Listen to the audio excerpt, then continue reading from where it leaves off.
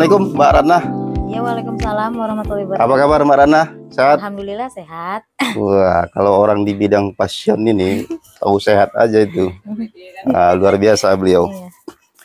Nih, saya sekarang berada di eh, tempat usaha, usaha passion atau pakaian. Jadi ini unik ini. Usahanya ada di kampung, kemudian di dalam pula, dalam gang. Tapi pembelinya rame terus. Ah, jadi ini yang perlu kita bincangkan di saat ini. Jadi Mbak Ratna sudah berjualan di sini berapa lama? Nah, kalau saya Pak Jul nah, di sini berjualan ada sekitar dua tahun. Dua tahun ya. Dua Oh. tahun. Awal saya merintis jualan tuh Pak Jul ya. Awal saya merintis jualan, saya merintis jualan tuh di rumah ya Pak Jul ya. Hmm, hmm, Alhamdulillah karena sudah banyak eh, pelanggan saya, hmm, eh, saya ada niat tuh berencana hmm. ingin memperbesar usaha saya lagi. Iya. dan saya inilah Pak Jul saya eh, bikinlah ruko in- yang Hmm. yang di sinilah Iya, sekarang iya. rukonya saya apa alhamdulillah eh, mm, Berjalan ya, dengan alhamdulillah sesuai dengan ya, harapan. eh, berjalan dengan sesuai harapan iya. saya Jadi Mbak Rana bilang tadi selama dua tahun itu di sini apa sama sebelumnya itu? Eh, sebelum Yang dua tahun itu di sini aja itu. Eng- enggak Pak Jul eh, awal merintis itu saya di rumah di rumah di rumah itu saya adalah satu tahun Pak Jul satu tahun. Heeh. Berarti sekitar tiga tahun lah Heeh. sama di sini gitu.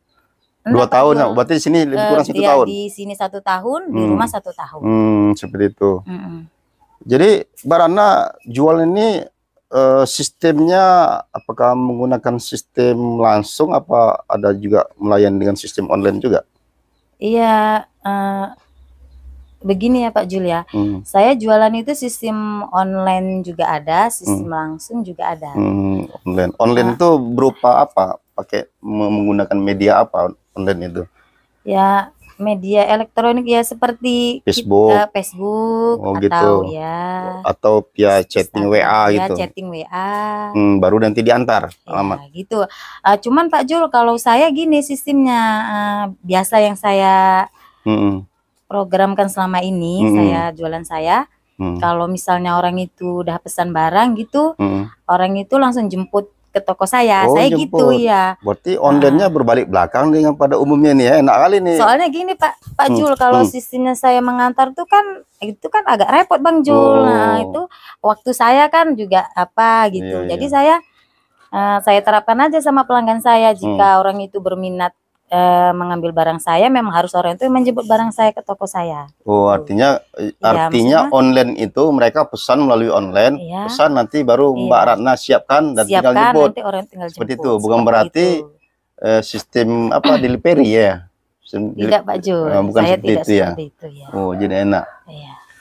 Kok Mbak Rana nggak kepikir Iya. membuka eh, toko di pasar misalnya atau di pinggir jalan orang keramaian orang kok buka usaha di tempat sepi lah kita katakan seperti ini Iya. cuma di gang Iya. kecil ya kok bisa seperti itu Ya, eh, karena yang saya punya ya karena di dalam ini Pak Jul. Hmm, Ya alhamdulillah ya kita Pak Jul jualan tuh kan kita harus eh, kayak mana kita melayani konsumen supaya konsumen itu mau hmm, membeli barang-barang kita. Ya Hmm. kita kita buatlah orang itu jatuh cinta sama usaha kita gitu walaupun Hmm. kita di dalam orang itu tetap mencari ke tempat kita Oh, gitu. seperti itu. Saya gitu Pak Jul. berarti Mbak Rana mempunyai strategi tersendiri ya Ya. apa strategi itu kira-kira yang bisa dipublikasi misalnya strategi apa salah satunya yang Mbak Rana eh, eh, terapkan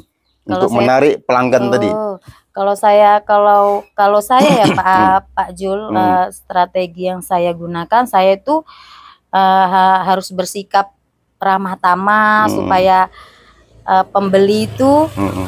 mau datang ke tempat saya. Hmm. Terus harga itu Pak Jul saya ambil nggak terlalu mahal. Harga itu Oh, saya itu. eh, maksudnya harga itu saya sesuaikan menurut pasaran. pasar Eh, eh, itu eh, pun eh, kadang harga itu saya bedakan juga dikit maksudnya harga berarti pasaran di bawah harga pasar maksudnya harga itu di bawah harga pasar Mm-mm. saya Jadi kasih artinya saya. Lebih murah Nah, daripada lebih yang murah, lain Ya. supaya mereka senang. Hmm, supaya mereka senang Oh. belanja ke saya. Oh, jadi selain itu misalnya produknya apakah ada produk yang berbeda dengan dengan pedagang-pedagang yang lain? Apakah produknya sama? Kalau menurut saya Pak Jul ya Hmm. produk yang saya jual sama Hmm. produk-produk yang di luar eh, yang pelanggan lain jual juga, Mm-mm. menurut saya sih sama Pak Jul. Oh, sama. Cuman trik-trik yang mereka gunakan sama saya mungkin berbeda. Berbeda itu ya. Berarti luar biasa juga nih teman-teman. Beliau nih daya tariknya untuk ibu-ibu. Saya kan sering lewat di sini juga nih. Saya, saya lewat kok rame, terus rame terus ibu-ibu. Apa ini saya bilang? Saya penasaran. Di kampung, sementara yang di pinggir jalan aja atau di kota-kota kita lihat biasa-biasa aja. Tapi beliau ini nggak kalah juga sama yang ada di pasar. Ah, itu rupanya mereka beliau ini mempunyai trik-trik khusus rupanya ini perlu di dituntut juga ilmunya nanti nih ya teman-teman. Ada nggak kendala-kendala yang dihadapi Bu Rana untuk menjalani usaha ini? Eh, setahu saya ya Pak Jul ya, Hmm. selama saya menjalankan usaha saya ini, Hmm, kendalanya sih ada sih Pak. hmm, Itu eh, kendalanya kan gini Pak, eh, Hmm. di daerah tempat kita ini kan banyak tuh Pak, orang hmm, jual-jual jualan. online. hmm, itu pak cuman saya pak bersifat hmm, punya pikiran yang positif aja pak maksudnya eh, kalau kendala itu namanya kita usaha itu kan pasti persaingan, Persaingan bisnis usaha itu bisnis, kan pasti hmm. ada jadi ya saya gimana supaya pelanggan atau orang-orang di luar itu mau Hmm. ya ya kayak mana saya bikin supaya orang itu ya senang Jatuh aja jatuh gitu hati dengan maksudnya jatuh dagangan hati kita. dengan usaha saya hmm. Ya kalau masalah kendala itu Pak, yang sebenarnya sih banyak. Banyak ya. Makanya juga Hmm, kita ini kan banyak Pak eh, bisnis-bisnis, usaha, hmm, hmm. orang keliling juga kan banyak. Iya iya. Kalau saya itu ya. lihat kan seperti itu. Tapi saya ya eh, punya maksudnya awak niat tuh baik Hmm, ah, gitu. Semua itu kan Allah yang mengasih rezeki. Oh, jadi saya jadi yakin yakin. Allah itu ah, Kalau sudah rezeki penting kalau sudah rezeki tidak akan ke mana ya? akan ke mana. Insya Allah pasti ke kita juga. Oh seperti yang itu. penting kita harus berusaha berusaha, terus Berusaha gimana semaksimal caranya mungkin. gitu semaksimal mungkin. Hmm. Jadi eh, di kampung ini eh, pelanggan Bu Ratna itu apakah orang sekitar lingkungan sini aja atau lebih banyak dari luar atau gimana? Kalau pelanggan saya itu ya Pak Jul, yang kebanyakan orang dari luar Pak Jul. Dari luar ya, karena menggunakan sistem online tadi. Iya, sistem. Jadi online itu eh, apa media apa yang lebih efektif kita gunakan? Misal Facebook, eh, WA atau Instagram. Bu menggunakan apa? Yang Kalau saya menggunakan eh, Facebook Facebook, sama WA, WA itu yang lebih efektif. itu lebih efektif, Jadi mereka nanti eh, lebih langsung gitu. langsung. Nah, langsung. Oh, jadi co- contoh seperti apa? Misal ada pembeli, dia melalui messenger ataukah gimana Eh, kalau pesannya? kalau pelanggan saya itu ya Pak Jul, dia Hmm. melalui messenger, dia eh, bertanya barangnya masih ada, Hmm. ini saya mau ini, Hmm. WA juga pribadi juga, Oh, nanti itu Pak. Baru kita siapkan. Nah, baru kita siapkan nanti. Hmm, jadi Nanti saya ambil. jemput atau besok, Oh, begitu. itulah saya siapkan Pak Jul. Kalau orang-orang sini memang sedikit, kayaknya sedikit orangnya ya, Iya. nggak nggak seramai Iya. di tempat lain ya. Iya. Apakah Bu Rana menyiapkan produk impor juga? Pakaian impor Iya juga? Pak, eh, eh, iya Pak Jul. Saya eh, produk saya memang saya siapkan ya impor Pak Jul. Impor. eh, eh. Hmm, Dia yang bahannya yang yang berkualitas lah Pak Jul. Kualitas ya. Soalnya kan Pak Jul kalau konsumen itu kan harus barang itu yang bagus, Bagus. berkualitas. ya. Mereka Itu bagi yang mereka memiliki budget yang cukup. Iya. Bagi yang memiliki budget yang terbatas, Ya, yang memiliki budget yang terbatas, hmm, eh, saya yang menyediakan juga Pak Jul. Oh, ada juga. Nah, ya, yang Oh. kualitas yang menengah, Ah. saya menyediakan. menengah ke bawah, atas menengah gitu ke ya. bawah ke atas. Produk apa aja yang Mbak Rana jual di sini? Produk yang saya jual ya Pak Jul ya ya, ya seperti eh, Hmm, eh, fashion kayak Hmm. baju atasan, hmm, bawahan juga, Oh gitu. ya seperti tas, tas impor saya jual juga, Jual juga. ya. Komplit ya. Kosmetik saya jual juga. Hmm. Eh, yang diminta pelanggan lah Pak Jul, Hmm. saya siapkan. sediakan, ke saya siapkan. Ah, jadi ada juga sistem main pesan. Misalnya di sini barangnya lagi tidak ada atau tidak menyiapkan stok, mereka pesan. Apakah uh, Bu Ratna bisa menampung itu juga? Iya Pak Jul, kalau Hmm. seperti itu, iya memang saya sediakan juga. Hmm, seperti itu. Iya. Misalnya Intinya-. Intinya setiap keinginan pelanggan itu Mbak Ratna bisa tampung. ah ya, ya Pak Jul. Saya kalau nggak ada, saya di- ah, iya. dipesan dulu usahakan, gitu ya. Saya saya usahakan. Usahakan. Iya. Tunggu beberapa hari Iya. misalnya baru disiapkan. Produknya apakah ah, mana yang lebih banyak antara produk perempuan atau laki-laki di sini Bu Ratna siapkan? Yang Soalnya saya lihat di sini banyak apa aja nih kebaya-kebaya saya ingin beli, tak mungkin saya beli kebaya kan. Iya, iya, iya. Nah, jadi apa produk apa aja unggulan Bu Ratna di sini?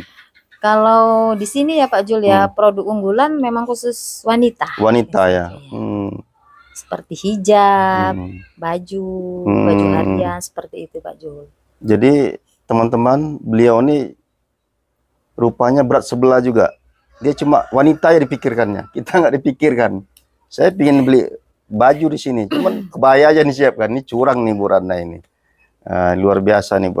Dia cuma mementingkan kaum dia saja yang Tapi dikepentingan Pak dia. Jul, Hmm. eh, nanti insya Allah itu bakalan saya Hmm. sediain juga itu Pak Jul. Nanti khusus buat cowok saya Hmm, siapkan sediain ya. juga, saya siapkan juga nanti. Hmm. Nah, baju busana buat cowok kan, Hmm. Hmm, saya sediakan juga. Oh, seperti itu. Hmm. Oh, untuk prospeknya menurut Bu Rana, kalau saya lihat sih, saya sering lihat di sini, saya lihat kan sering ramai. Hmm. Menurut Bu Rana, apakah memang seperti itu? Eh, Prospeknya jelas nggak? Mem- Memuaskan nggak bagi Bu Rana untuk buka usaha di dalam sini? Kalau bagi saya sih Pak, eh, saya sangat memuaskan. Memuaskan. Saya sangat bu- eh, sangat Hmm, puas banget. hmm. Walaupun saya di dalam, Hmm. alhamdulillah saya puas banget. Ya, luar biasa ya. Ini perlu di, dicontoh nih teman-teman. Rupanya kita itu kalau usaha itu tidak tergantung juga pada tempatnya. Selagi kita itu niat kita ikhlas, eh, niat kita betul-betul untuk mencari rezeki, insya Allah kita banyak cara yang harus yang bisa kita lalui dan tidak mesti kita harus di kota atau di mana di kampung atau di daerah pedalaman pun kita bisa membuka usaha tidak kalah eh, penghasilan dengan di kota-kota. Assalamualaikum buat bunda semua. Selamat sore ya bunda-bunda ya. Di sini saya menyediakan berbagai produk ya bunda ya, seperti hijab, baju, bawahan dan yang lainnya ya bunda ya. Eh, jika bunda berminat bunda bisa pesan ke saya juga. Eh, baju apa aja ya bunda ya, baju impor, baju biasa, baju anak sekolah juga seragam Guru-guru juga ada ya Bunda ya. Silahkan mampir aja ke toko saya. Karena saya Bunda banyak banget menyediakan berbagai macam busana, busana muslim juga. Dan yang lain-lainnya ya Bunda ya.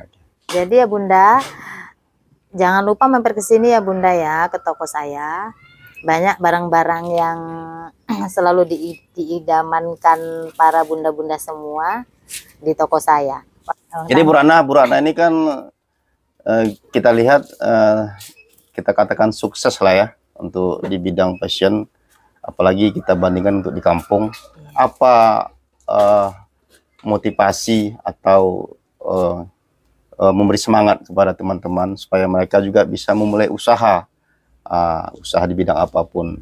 Jadi eh, Bu Ratna sampaikan ke mereka eh, untuk jangan takut Ya. ber, berusaha. Nah, berbisnis.